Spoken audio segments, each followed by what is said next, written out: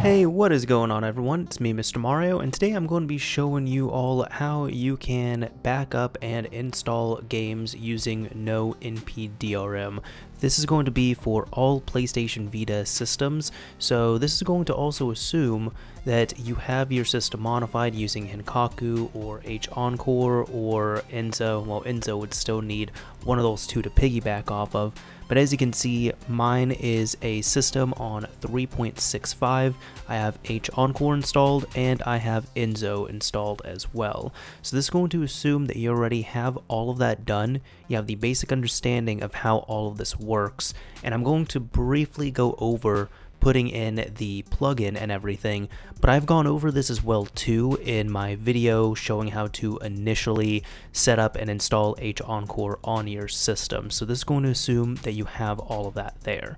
So in short, what is NoNpDrm? No NPDRM is a plugin that was created by TheFloW that essentially allows you to take any games, any downloadable content, any updates that you have either on a cartridge or installed digitally on your system and dump them and then you are able to utilize them as long as you have the no np drm plugin and use that to also create a fake license for it. So for example if you want to back up a digital game what you would do is you would run the game one time with NoNpDrm enabled and then get the license that is generated from that plugin and pair it up with your game and you'll have a proper dump of that game that you can keep for backup purposes just in case you want to put it on another Vita or let's say this gets wiped you have to put it back on here whatever it is. Uh, in this example for today I'm going to be taking a physical game cartridge that I have I'm going to be showing you all myself dumping that, getting the fake license for it, and then essentially repacking it all and getting it installed on the system so I'll be able to play my cartridge-based game without the cartridge. So over here on the PC, I am going to have two links for NoNpDrm down below in the description. The first one is going to be right here to the main NoNpDrm page, and the reason why I want to link this is because there is a excellent write-up here created by TheFloW that shows all the features, what the software does, what it does not, and how to generate everything. So I'm actually going to be following parts of this to dump the game. However, if you have questions on DLC updates, uh, if there's maybe something digital that I don't cover 100%, uh, then you can go ahead and check out this link. As for the actual download, what you can do is check the other link or go to releases here and you will need this no npdrm skprx file and you're going to have to transfer that over to your tai folder on your PS Vita. On your Vita, I'll show you what you will need to do here. So mine has already been set up, but you would need to go into VitaShell, make sure everything is transferred over, and within right here, I will show you within UR0, there's going to be a tai folder, and inside of that, you're going to have to put your no np drm.skprx. You have to put that plugin in there. And then you also have to assign it within your config.txt. As you can see, mine is set up right here. So you'd have to put it under kernel. So put the address there and make sure it's pointed to that plugin and it must be a kernel plugin. Now if you have this all set up right now as is, if you're just setting up, make sure you run h-encore again. I'd recommend restart your system, run h-encore again, or if you're on v eh, Enso, just restart your system. But make sure you have everything there. On top of that, if you followed a previous tutorial I had for Storage Manager, this one's a little bit tricky because I actually had SD2Vita set up on here and I have commented out storage manager so that way I can use my game cartridge. So, so you might just have to think accordingly on that if you're going to be dumping a physical game cartridge. For this, I'm not dumping a digital game, I'm just going to be dumping the physical game.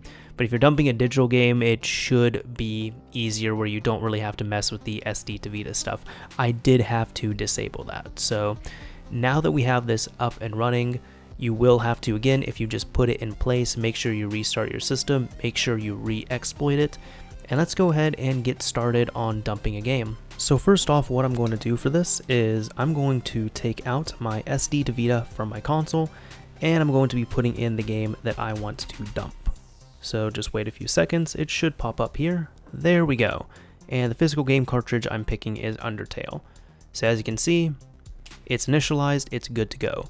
If you have never run the game with NoNpDrm enabled, you must run it one time. So again, because I just popped this game in, I'm going to boot it up, and let's wait about a minute or so.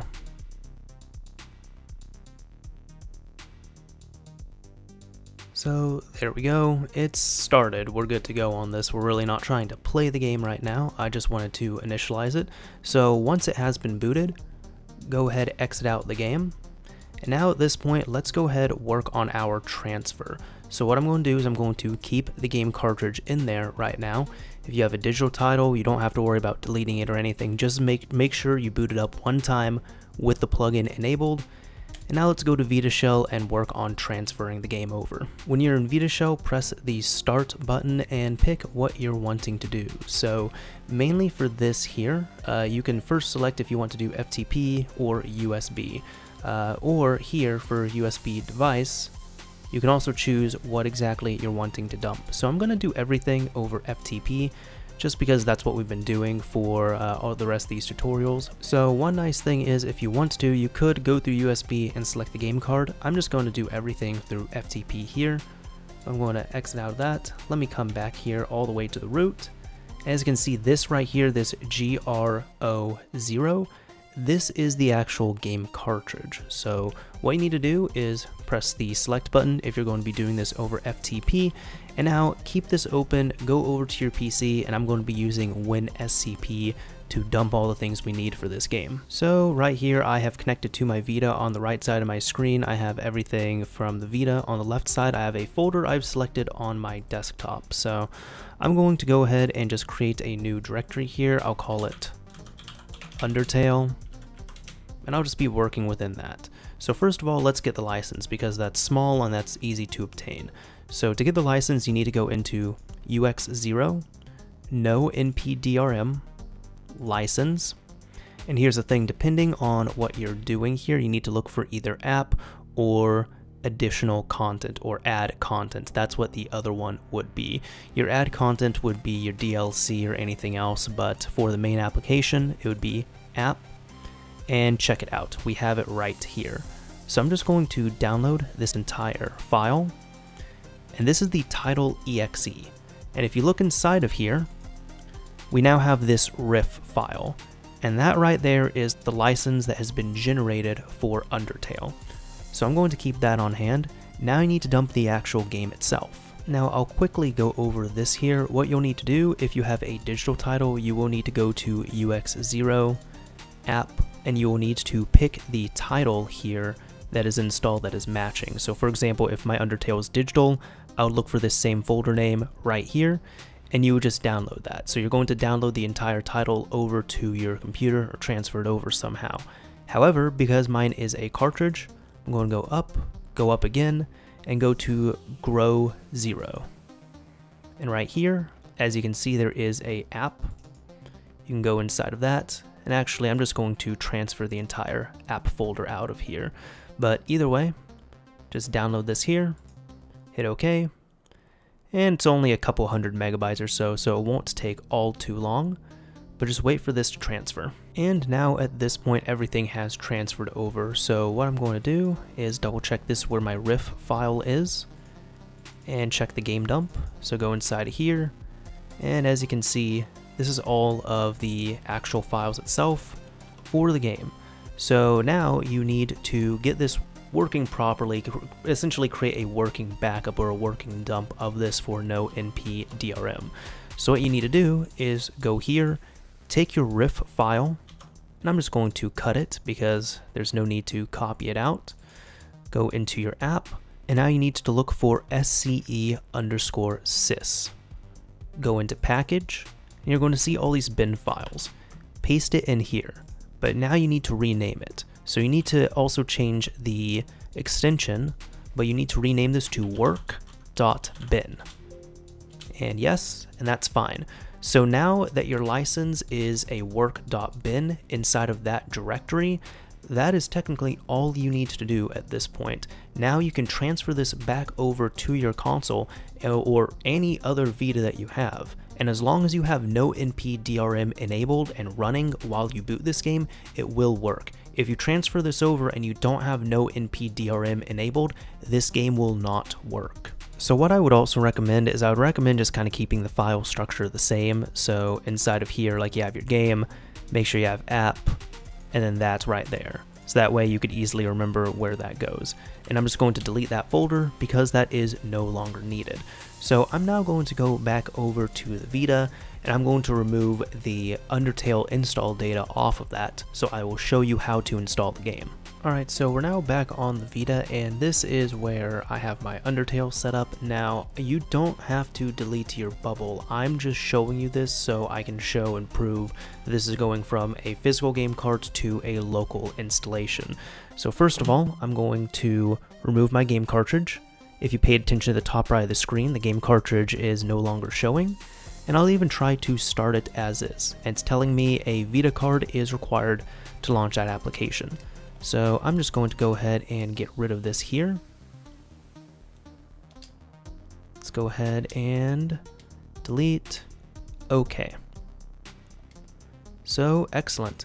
Now at this point, go back into VitaShell and let's work on getting our game cartridge transferred over. So from here, I also want to tell you all that if you are doing this with a digital title, you don't have to go through the deletion process. Because you have the game already installed and downloaded locally, all you would really need to do to get your digital title ready is go into UX0, find the game in app, find which game it is, go to SCE sys, package, and then paste the license inside of this folder, but rename it to work.bin.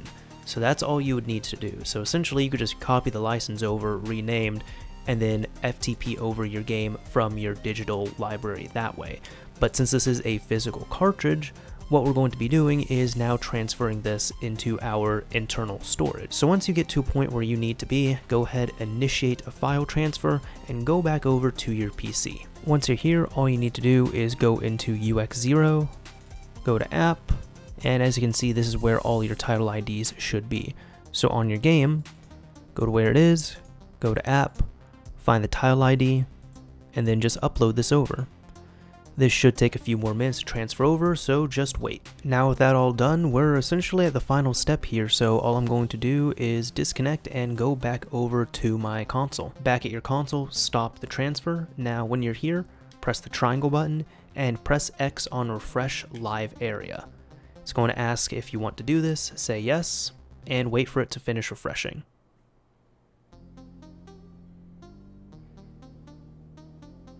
Now as you can see, it's refreshed one item, so for however many games you transferred over, it should give you that same number.